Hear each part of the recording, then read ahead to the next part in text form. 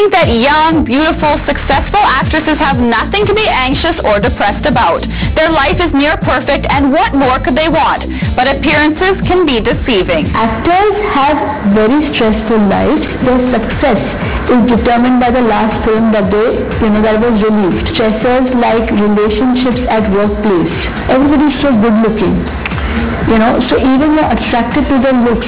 Now for actors, even their on-screen chemistry is supposed to look very good. And off-screen, you don't want to kill each other. competition is of the worst kind. The Khans and the Roshans, etc., who have maintained themselves in the numero, the top category. But in the heroine category, there's been a lot and lot of competition that we see. Some particular year, Katrina Kaif is on the top, sometimes Priyanka Chopra. There is a lot of pseudo relationships also. Lots of upheavals go in personal relationships. Unfortunately, there is a lot of substance abuse also happening. But now that these famous